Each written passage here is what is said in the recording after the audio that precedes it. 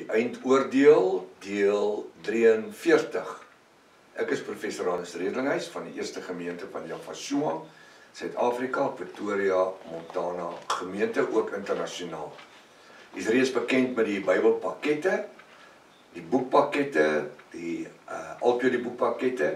Sou u belangstel in enige inligting rondom dit, kontak pastoor Rika, my vrou met WhatsApp 0722 367 124 of gaan na my webtuiste toe https://jafashua.co.za. Goed, ons vereensellig ons nie met enige van die volgende instansies of groepe nie. Enige messiaanse groep, die Israel Bessie groepe, the Hebrew Roots Movement, the Sacred Time Movement, ons is nie verwant aan enige kerkdenominasie of organisasie in die wêreld nie. Inteendeel, So ons net 'n eindtyd Bybelstudiegroep wat werk en studeer in die geopenbaarde woord volgens die restoration of the original sacred name Bible. Dit is natuurlik die verbande Bybel in die wêreld. Volgens hierdie Bybel is die naam Jesus in werklikheid Yahshua. Die naam van die Here Jesus in werklikheid Jafashua. Die naam van God is in werklikheid Elohim. Die naam van die Heilige Gees is in werklikheid uh die Ruach HaKodesh. Die naam van die Here is in werklikheid Jaffa. En ons is nie Christene nie, maar ons is Jafiste. Kom ons bid saam. Dankie Vader, ons wil U vanmôre eer vir elke goeie gawe. Dankie vir 'n goeie nagrus wat U ons geskenk het dat ons vanmôre in heerlikheid en krag hier kan wees om na die woord te luister. Ek wil bid hulle wat belangstel in die woord, hulle wat belangstel om te groei in die woord. Hulle wat nie wil stagneer nie. Voed ons met die brood van die lewe.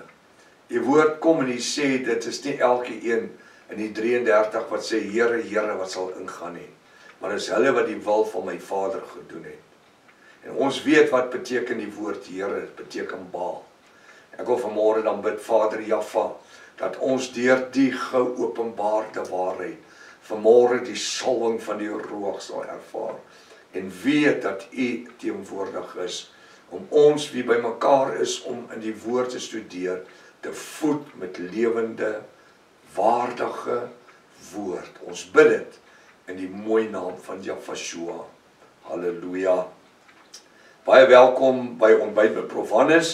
My gebed is dat vanoggend se sessie vir u tot groot seën sal wees.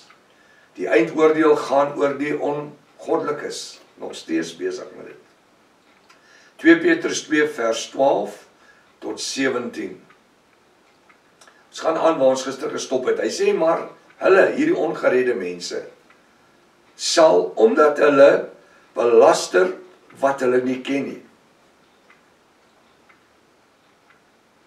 Maar nou kyk my sê prof, maar elke ou woord en dan gaan die woord God gebruik want hulle ken hom as God.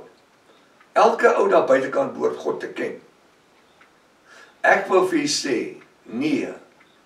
Hulle almal weet van Jaffa ons Elohim, vir hulle God. Maar hulle ken hom nie. Wanneer ken jy my? Is wanneer jy my in diepte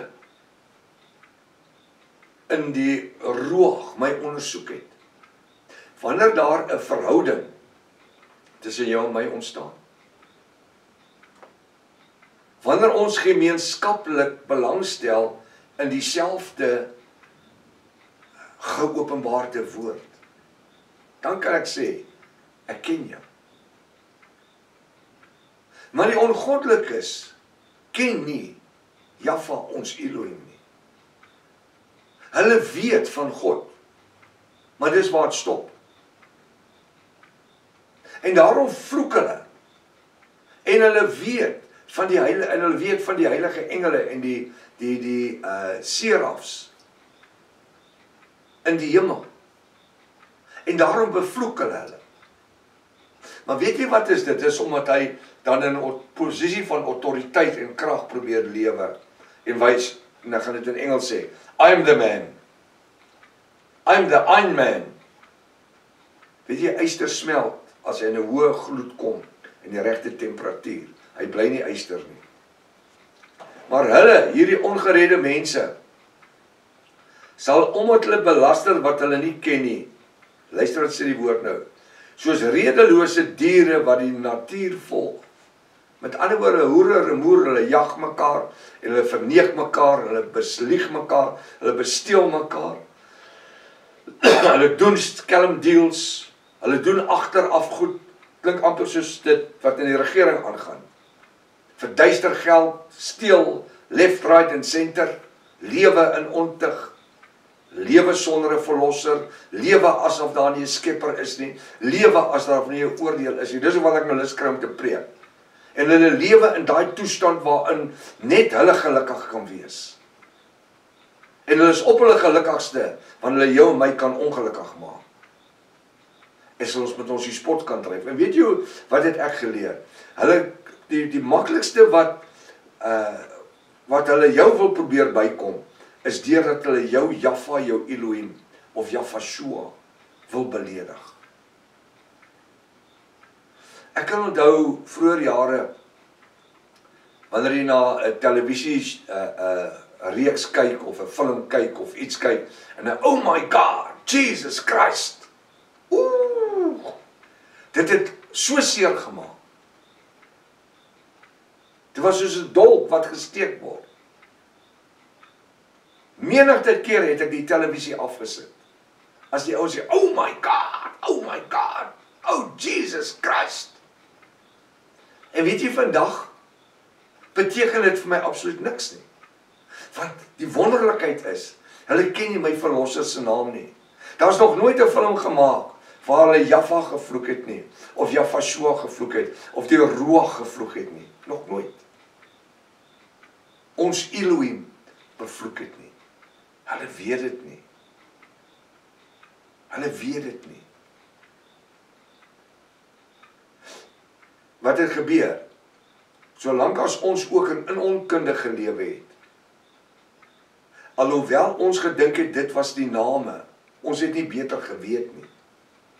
Maar die woord sê dat die skille van onkunde het van ons oë afgeval. Hy sê nou belaster hulle die hemelse wesens. Maar hulle hierdie ongeredde mense sal omdat hulle belaster wat hulle nie ken nie, soos redelose diere wat hulle natuur volg, gebore om gevange en vernietig te word in hulle verdorwenheid tot gronde gaan. Nou hierdie skrif lyk asof hierdie ouens gebore is om verlore te gaan. Onthou daai skrif wat ek ons het deur die uitverkiesing gestap mos al in die ontbytreeks. Kyk hoe val die goed vir ons als in plek. En nou kan ons van 'n posisie van autoriteit kom en sê, maar ons het mos geleer uit die woord uit uit die ontbytreeks dat die woord wat sê ons was voor die grondlegging van die aarde uitverkies tot die ewige lewe. Nou lyk dit of hierdie ouens verfoeisels is wat nie uitverkies was tot die ewige lewe nie en dat Vader dit klink of hy hom verlustig in hierdie ouens se toestand. Maar weet jy wat sê die woord daarso in Romeine 8? Hy sê ek sal vir julle die leuen stuur dat julle dit kan glo sodat julle in julle sonde kan sterwe. Hoekom? Want julle wil nie gered word nie. Die woord sê toe ek die wel aangename tye toe ek julle besoek het, wou julle my nie aanvaar het nie. Maar hy sê dat omdat hulle laster wat hulle nie ken nie, die engele en Jaffa. Dis sy manier. As jy hom laster, dan maak hy jou toe vir die evangelie. Want jy kan hom nie belaster nie. Hy sê omdat hulle belaster wat hulle nie ken nie. Soos redelose diere wat die natuur volg, jag mekaar. Gebore om gevange en vernietig te word. Dit lyk of hierdie ouens gebore is. Nee. Ek en u, weet jy wat? En ek gaan dit weer sê. By Jaffa is daar nie groot sondes en klein sondes nie.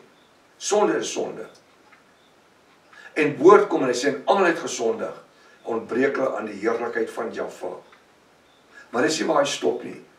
Hy sê maar deur genade is jy gered. Nie uit onsself dat ons daarin kan roem nie, Dis uit die bloed van Jafashua. Deur sy lewe wat hy vir ons afgelê het. Job. Gebore om gevange en vernietig te word. Ek en u ons lewens het dalk ook gelyk asof ons gebore is om eendag reguit hel toe te gaan. Totdat iemand, totdat Jaffa iemand ons pad langs gestuur het om met ons te deel oor hierdie kosbare evangelie en die ewige lewe in Jafashua. En wat het vandag gebeur? Ek en u is koningskinders. Ons koningsseuns en priesters, ons sit alreeds op trone. Ons sit asof ons alreeds in die hemel is om hier te regeer op die aarde onder die ongoddelike mense.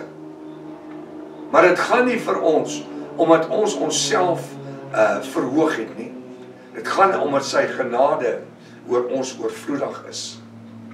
En ons as mens kry verskillende geleenthede. Verskillende geleenthede. En ek wil nou nie als probeer uitbeeld siek beddelings en teerspoed en die goed. Daar kom dinge oor ons lewe. Maar daar kom 'n tyd wanneer dinge in my en jou lewe gebeur. Wanneer ons vassteek en kennis neem van die goed. Ek wil nie langer soos 'n redelose dier die natuur volg nie. Ek wil nie langer agter die sonde aangaan nie. Ek het hoeveel keer die getuienis gehoor van ouens wat sê hulle was totale alkoholiste. Hulle het elke dag gesuip.